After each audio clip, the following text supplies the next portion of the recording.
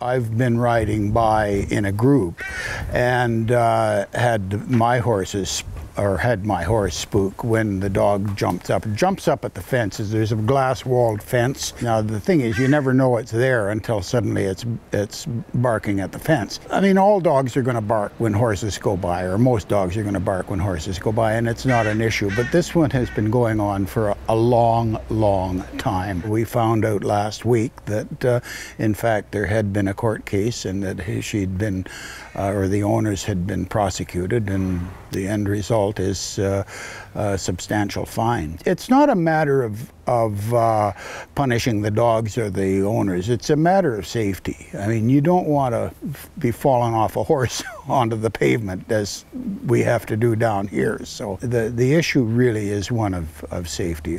You know, as an elderly rider, if I fell off on the pavement, I probably wouldn't get up. So I'm, I'm kind of nervous about things like that. The dog tends to sort of wait in the background until you're parallel to the gate and then charge the gate. He's always on the inside of the fence, so it's never really been a, a huge issue.